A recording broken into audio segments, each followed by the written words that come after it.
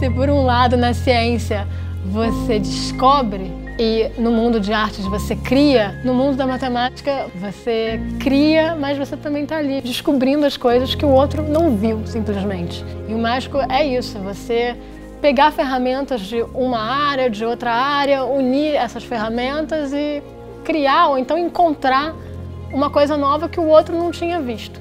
Meu trabalho é sobre códigos corretores de erros em superfícies algébricas. Os códigos, eles estão por todos os lugares. TV, internet, DVDs, sua conta de banco, ou seja, eles são realmente aplicáveis a quase tudo que você pode imaginar.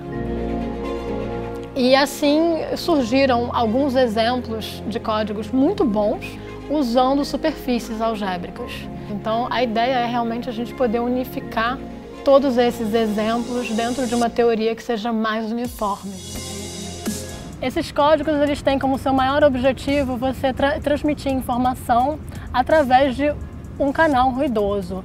O que você quer no final das contas é botar o um mínimo de informação extra com pouco erro, sem ter que inflar essa sua mensagem. Eu acho que do ponto de vista de várias inovações que a gente tem vivido né, ultimamente, você não tem mais fronteira do que é matemática, né? Às vezes você encontra ela nos lugares mais inesperados. Eu acho que é assim, não tem, ah, não sei, acho que não tem receita, não tem receita.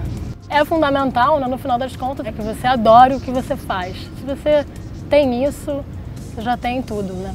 Eu acho que esse prêmio vem para poder estimular, né, e também para te dar vontade de querer mais e de fazer mais. E, né, enfim, acendendo as luzes naqueles lugares que estavam escuros. É você ir levando o seu foguinho lá nas cavernas, né?